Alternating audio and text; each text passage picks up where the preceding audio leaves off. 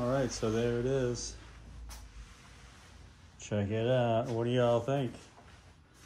Candy blue. I just gotta put that, I just gotta mount the compressors. That's it. Put four little screws in each one and we're good to go. Then wire it up. All right, so this is the primer that I've been using, the 2K primer. Uh, Finish One makes some pretty decent products. It's, it's great. Uh, it's not the best best products out there, but you'd be really hard pressed to beat it, honestly. I've had good results over the last 20 years. So you like to kind of stir stuff up. You know, where I buy my paints, you know, a lot of people use like a whole mixing system where these will just sit on a rack, but as a as a small guy, you know, you don't really, I don't have room in my garage for a full rack. So Anyway, this is the FP410. It's a 2K high build primer. It's uh, it's four to one. So let's stir it up.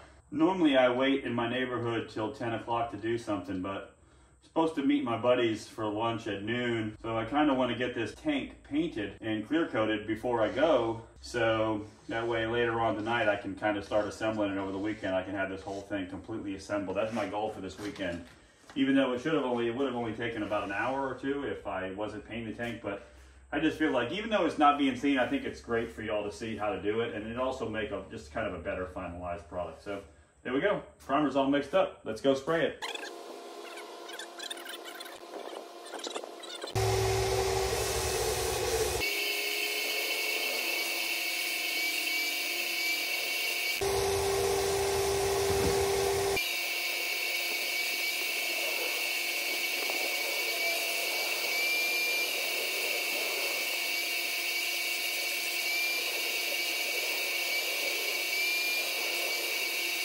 So this is 400 grit. And if you, when you're sanding it, you can see the texture. You can see it right there. What you want to do is you want to sand it nice and smooth because my my paint is essentially a candy paint. So each layer creates more texture. So you want to make sure that what you're spraying down on the first level is as smooth as you can get it essentially. For me, I found that 400 grit is is more than sufficient for that. You can always go finer if you wanted to. Uh, my paint reps always told me never to go more than like six or 800 grit because then you have too slick of a surface. It's like you're painting on just clear coat, you know, a polished clear coat. So your paint sticks to your to the different layers from a chemical adhesion, which are the hardeners and the reducers and all that kind of stuff that kind of help make, well, reducers kind of thin it out, but the hardeners make it kind of melt into the other layers essentially in, a kind of simplified way. So, and then you have mechanical adhesion, which are the, the sand marks. So that's why you sand a bumper before you paint it. You know, you scuff it with like a 400 grit or something like that. And so 400 grit with a base coat, clear coat, uh, urethane based paint, you know, all the modern paints, not waterborne 400 is uh, you don't see the sand scratch. Anything less than 400, like 320 or something like that, you're gonna see the sand scratches. But for me, with Sherwin-Williams Ultra 7000, it, you don't see any of the sand scratch. You can always do more work, right? And, and you're gonna hear me say that all the time. I, I know, I sound like a broken record. There's always more you can do to a vehicle. There's always more, you know, there's just, there's never an end. It's like, okay, this is this is how much I wanted to do to it, you know? And as you sand, you'll see different textures, you'll see different things, and you want it to be nice and smooth as possible. And if you get a little run in the primer, which I don't really care about runs in primer, I'm not really concerned because I can sand them out, you know? You don't want to get runs in your base coat because that you will have to sand out and then you will have to respray and it's complicates everything. But so, and if you see right there, you can see the texture kind of where I, I started to sand it and then I realized like, hey, I should be recording. So Anyway, that's what you want to do. You want to sand out all that texture.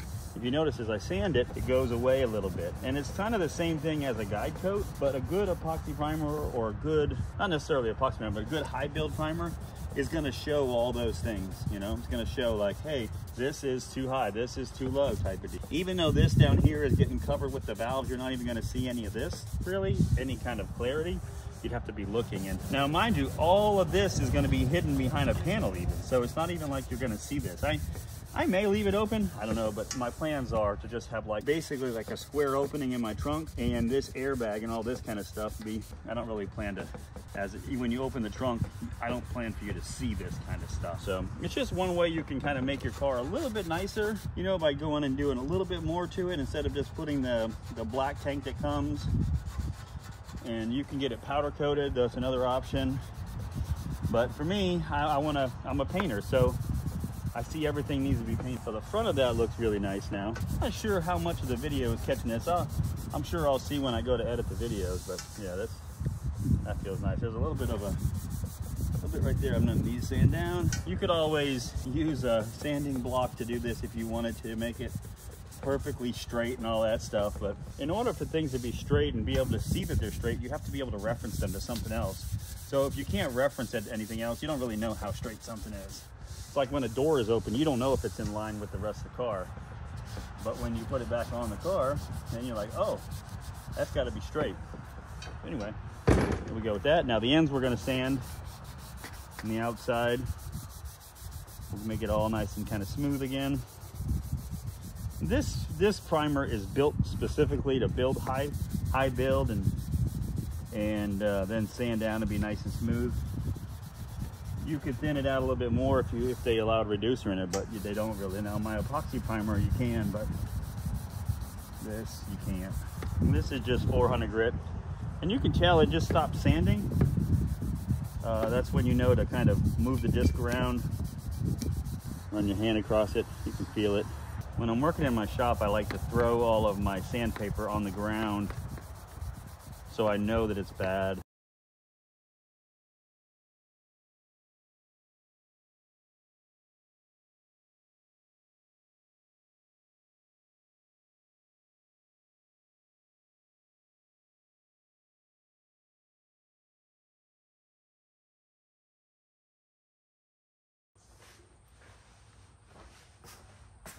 So this is eight ounces of, of mixed paint.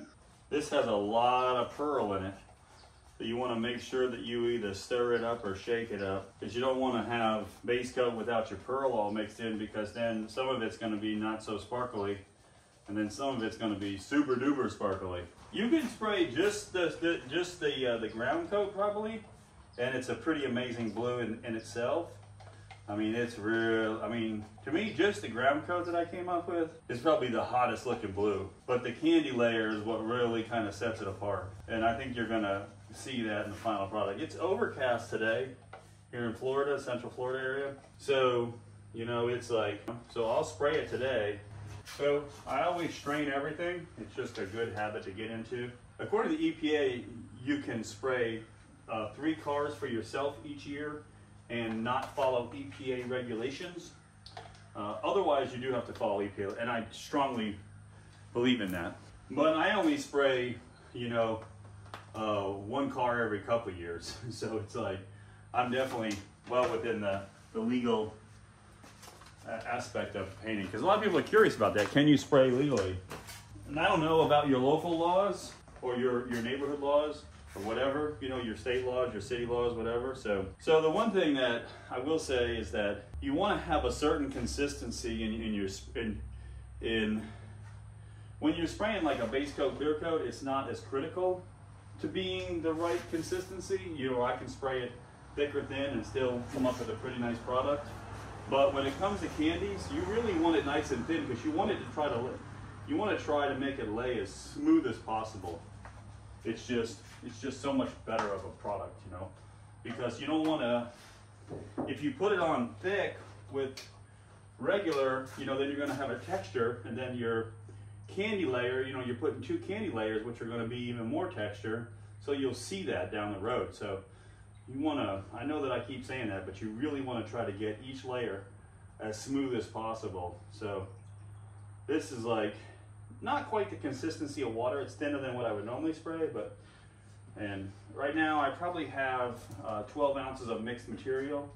So uh, that's about six ounces of, you know, five or six ounces of actual paint itself, and then the other part's reducer. So, you know, just so in case you're wondering, like, well, I don't know how much paint he's using. That's pretty much exactly how much paint. Normally, you would use a lot less uh, mid coat than you would ground coat. Mid coat is the candy part.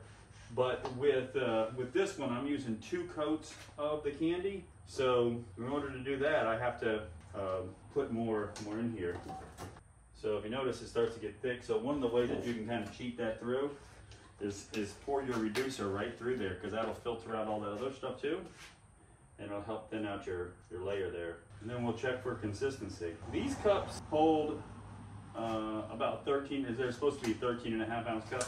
You can technically put more, you know, but they're, they're supposed to be like what's called a 13 and a half ounce cup. Okay, that's a little bit, little bit thicker than I want, so I'm gonna add a little bit more reducer to it, and then we should be good to go. Yeah, that's nice.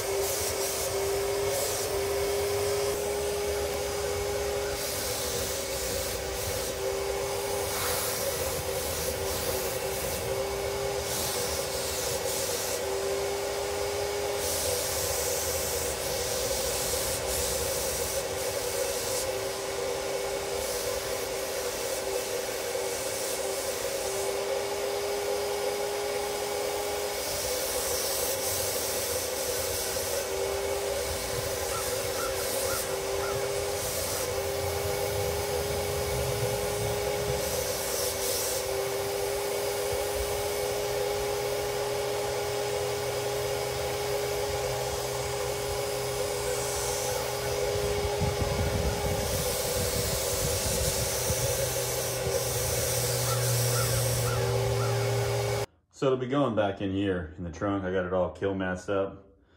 And uh, let's check it out. There's all my tripods. There it is, there's the tank. It's a nice candy blue. You can kind of see in, in, the video, you know, videos and pictures never really show you everything, but yeah, it's a Vixen air system. I showed it in another video with uh, eight valves, you know, two per, per corner. Uh, they're half inch lines, so it's really fast. Honestly, I would do 3 eighths size next time because this is like it's hydraulics. It's so fast. It's kind of almost funny. But I'll, I'll put in the tank in, in, in the trunk and then it'll be good to go. I just got to put some screws on, on the on the pumps there. But besides that, it's all nice. Look at that. That was painted in my backyard. I could buff it out and make it a little bit smoother, but it looks like a factory finish kind of deal. And you're not going to see it. It's going to be behind the glass anyway. So, But yeah, two coats of clear, two coats of candy, one coat of ground coat And there it is. I did all this for um, under two grand, I think. I think the whole setup was about 1500 bucks. So it's pretty reasonable. And that includes my bags, my mounts, my lines, everything, and all these valves. And I don't think it counts my paint, but you know, I painted it myself. So anyway, tell me what you think. Hope you like my channel.